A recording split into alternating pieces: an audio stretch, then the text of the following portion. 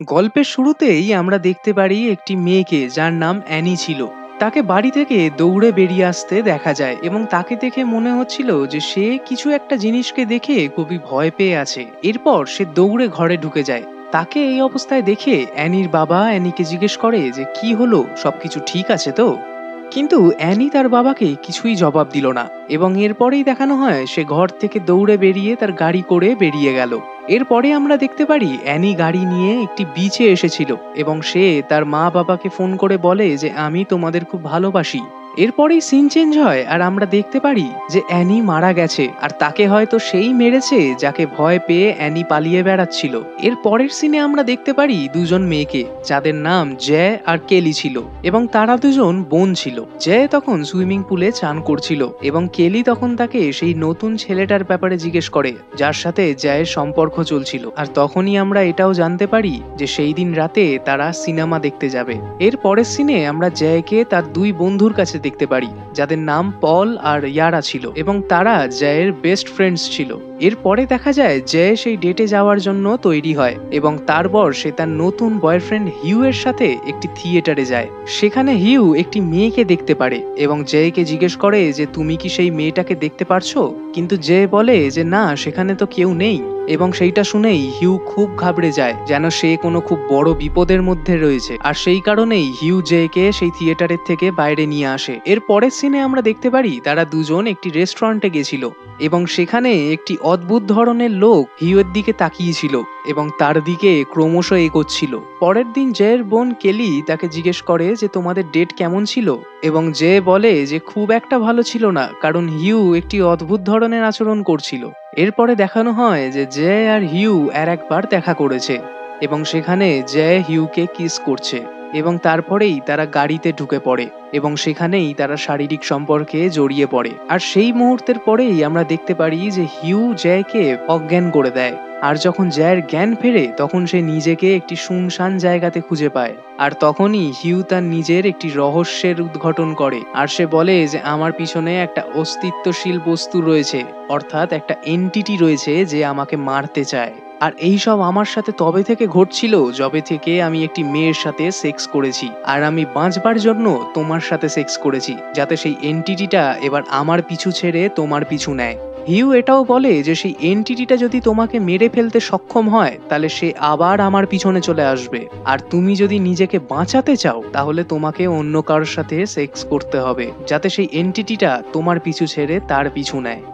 এবং তখনই হিউ বলে যে সেই এন্টিটিটা এইখানেও চলে এসেছে এবং সেও নগ্ন অবস্থাতে ছিল এবং তখন যেও সেই এন্টিটিটাকে দেখতে পারছিল।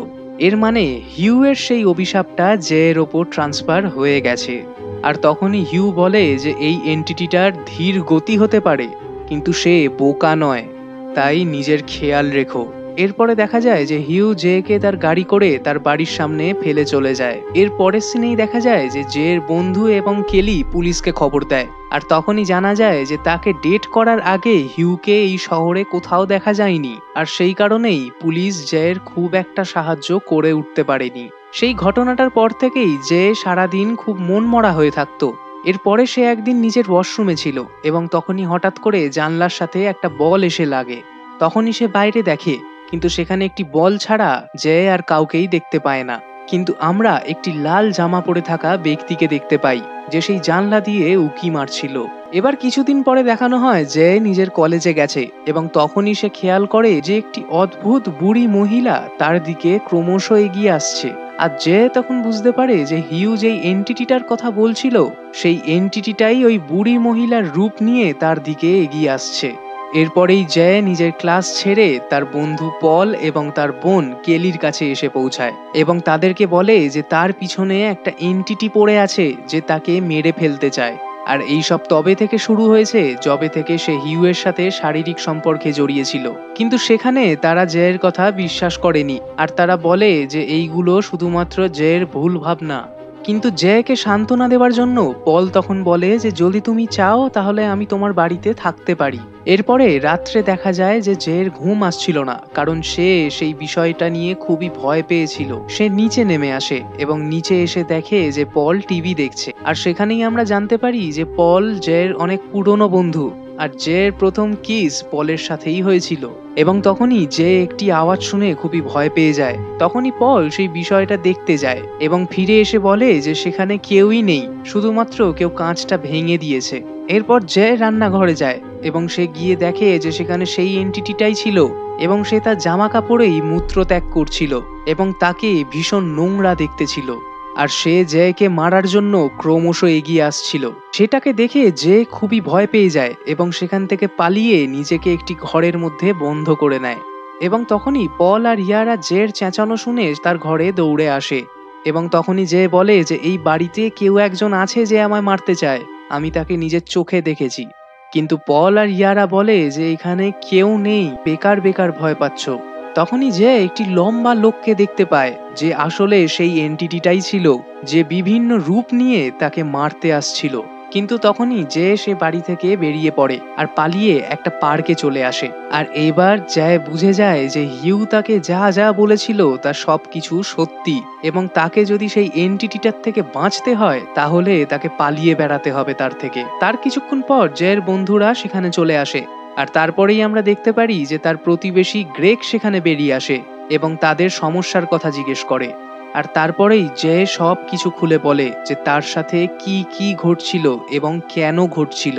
আর যে তখন বলে যে আমাকে এবার ওই হিউ নামের ছেলেটাকে খুঁজতেই হবে, যার কারণে আমার সাথে এইসব ঘটছে। আর এরপরেই তারা সবাই গ্রেগের গাড়ি করে হিউকে খুঁজতে বেরিয়ে পড়ে। তারা হিউয়ের সেই ঠিকানাতে পৌঁছালো, কিন্তু সেই বাড়িটা পুরোপুরি ফাঁকা ছিল, কারণ হিউ জেকে নিজের ব্যাপারে যা যা বলেছে, তার আইডেন্টিটি তার অ্যাড্রেস তার সব কিছু মিথ্যে ছিল। সে শুধু নিজের অভিশাপটা অন্য কারোর ওপর ট্রান্সফার করতে চাইছিল, যেটা সে জয়ের ওপর করে দিয়েছিল, এবং এইটাই শুধুমাত্র তার উদ্দেশ্য ছিল। কিন্তু তারা গোটা বাড়িটা অনুসন্ধান করে, এবং তখনই তারা একটি ছবি পায়, যেটার মাধ্যমে তারা হিউয়ের স্কুলের ব্যাপারে জানতে পারে। আর তারা সবাই সোজা সেই স্কুলে গিয়ে হাজির হয়। আর সেখানে তারা তার ব্যাপারে খোঁজ করে এবং তখনই তারা জানতে পারে যে আসলে হিউয়ের নাম জেফ ছিল। এর পরের সিনেই আমরা দেখতে পারি যে তারা জেফের বাড়ি পৌঁছে গেছিল এবং সেখানে গিয়ে যে তার নিজের সমস্ত সমস্যার ব্যাপারে তাকে খুলে বলে। আর জেফ তখন বলে যে সেই এন্টিটিটা ততক্ষণ তোমার পিছন ছাড়বে না, যতক্ষণ না তুমি অন্য কারোর সাথে সেক্স করছ।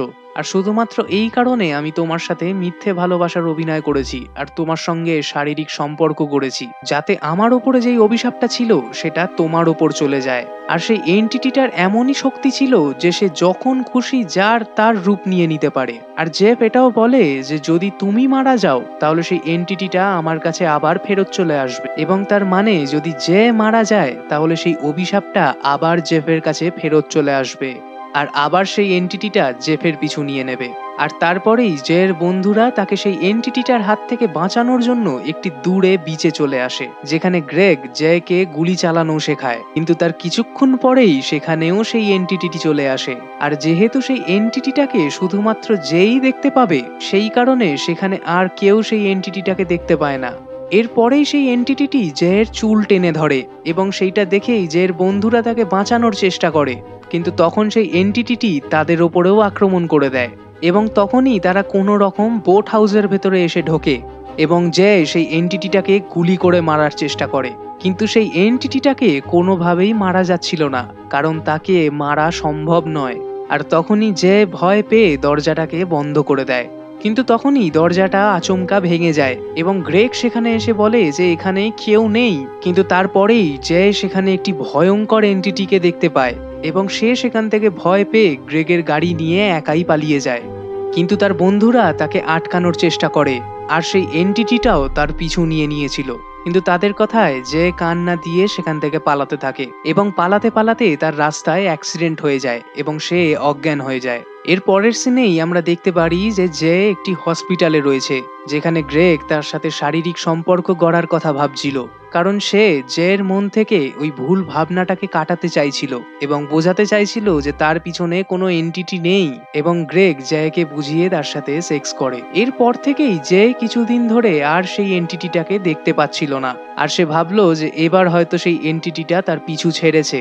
কিন্তু সারাক্ষণ সে সেই এন্টিটিটার কথা ভেবে ভয় পেয়ে থাকতো। তারপরেই দেখানো হয় যে জের বন্ধুরা গ্রেগকে জিজ্ঞেস করে যে, তুমি কি কোনো এন্টিটি দেখতে পেলে? তখনই গ্রেগ বলে যে, না, আমি এখনও অবধি কোনো এন্টিটি দেখতে পাইনি। এরপরে দেখানো হয় রাত্রিবেলা যে রাস্তায় গ্রেগকে দেখতে পেল। কিন্তু তখন সে তাকে দেখে বুঝে গেল যে, আসলে সেটা গ্রেগ নয়, বরং সেই এন্টিটিটা ছিল, যে গ্রেগকে মারতে যাচ্ছিল। সেই এন্টিটিটি গ্রেগের দরজা খোলার চেষ্টা করল, কিন্তু খুলতে না পেরে তার বাড়ির কাঁচ ভেঙে ভেতরে ঢুকে পড়ল। আর এইটা দেখেই যে খুবই ঘাবড়ে যায় এবং দৌড়ে গ্রেগের বাড়ির দিকে যায়। সেও গ্রেগের দরজাটাকে খোলার চেষ্টা করল, কিন্তু সে খুলতে পারল না। তখন যেও সেই ভাঙা জানলাটা দিয়ে ভেতরে প্রবেশ করল এবং ভেতরে গিয়ে দেখল সেই এন্টিটিটা এবার গ্রেগের মায়ের রূপ নিয়ে নিয়েছে এবং সে দরজার সামনে দাঁড়িয়ে গ্রেগকে ডাকছিল। কিন্তু যে চেঁচিয়ে চেঁচিয়ে গ্রেগকে বারণ করে দরজা খোলার জন্য এবং বলে যে, তুমি যদি দরজা খোলো, তুমি মারা পড়ে যাবে। কিন্তু গ্রেগ কিছুই বুঝে উঠতে পারে না এবং সে দরজাটা খুলে দেয়। আর তখনই সেই এন্টিটিটি তাকে মেরে ফেলে। আর এবার সেই এন্টিটিটি আবার জের পিছু নিয়েছে। এর পরের সিনে আমরা জে কে একটি বিচে দেখতে পারি, যেখানে সে দূরে একটি নৌকার দিকে তাকিয়েছিল। হয়তো সে তাদের সঙ্গে শারীরিক সম্পর্ক গড়ে সেই অভিশাপটি তাদের ওপর দিতে চেয়েছিল, কিন্তু সে এমনটা করে না। এরপর জে কে আমরা আবার একটি ঘরে দেখতে পারি, যেখানে তার সামনে পলও ছিল। আর যেহেতু পল জেকে পছন্দ করত, তাই জন্য সে তাকে সাহায্য করতে চাইছিল। আর সে বলে যে, আমরা সেই এন্টিটিটাকে মারতে পারব। আর এরপরেই তারা তাদের স্কুলের সুইমিং পুলের সামনে যায়, যেখানে সেই পুলের চারিপাশে তারা ইলেকট্রিকের জিনিসপত্র ছড়িয়ে দেয়, যাতে সেই এন্টিটিটি জের পিছনে এলেই তাকে কারেন্টের শক দিয়ে মেরে ফেলতে পারে। আর এরপরেই জে জলের মধ্যে নামে এবং সেই এন্টিটিটার অপেক্ষা করতে থাকে। তার কিছুক্ষণ পরেই সেখানে সেই এন্টিটিটি চলে আসে, কিন্তু সে জলে নাবে না, বরং সেই পুলের ধারে রাখা কারেন্টের জিনিসপত্রগুলোকে জের দিকে ছুঁড়ে মারতে থাকে। এবং সেটা দেখেই জয়ের বন্ধুরা তাকে সাহায্য করার জন্য জয়ের বলে দেওয়া জায়গাতে একটি কাপড় ছুঁড়ে দেয়। আর তারপরেই তারা সকলে সেই এন্টিটিটাকে দেখতে পাচ্ছিল। আর পল সেই এন্টিটিটাকে গুলি করে মেরে ফেলে। আর তার ফলে সেই এন্টিটিটি জলে গিয়ে পড়ে এবং সেখানে গিয়ে সে জের পাটা ধরে নেয়।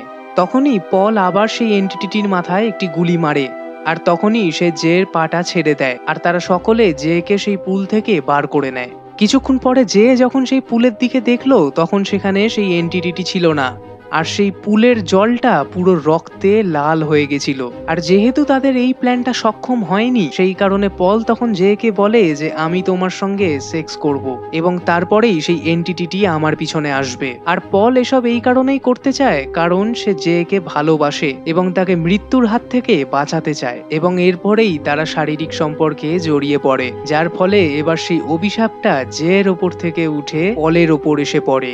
আর এরপর থেকে দেখা যায় যে পলও এবার থেকে ভয় পেয়েছিল। কিন্তু সে তখনও অবধি কোনো এনটিটিকে চোখে দেখতে পায়নি। এরপরে দেখানো হয় যে পলকে জিজ্ঞেস করছে যে, তুমি কি এনটিটিটা দেখতে পেলে? পল তখন উত্তর দেয় যে, না এখনও অবধি আমি দেখতে পাইনি। কিন্তু তখনই আমরা দেখতে পারি যে সেই এনটিটিটি তাদের পিছনেই আসছিল। এবং এই সিনেমাটি এইখানেই শেষ হয়ে যায়। তো বন্ধুরা, মোরাল অফ দ্য স্টোরি হলো যে মৃত্যুর ধীর গতি হতে পারে, কিন্তু তাকে কখনোই অবহেলা করা যায় না। একদিন না একদিন সে আমাদের দরজার সামনে আসবেই এবং তাকে আমাদের না চাইতেও আহ্বান করে নিতে হবে। আজকের এক্সপ্লেনেশনটি কেমন লাগল সেটা কমেন্টে জানাতে ভুলবেন না। নতুন নতুন মুভির এক্সপ্লেনেশন পেতে এই চ্যানেলটিকে সাবস্ক্রাইব করে ফেলুন। আর সবার শেষে বলব, ভালো থাকবেন।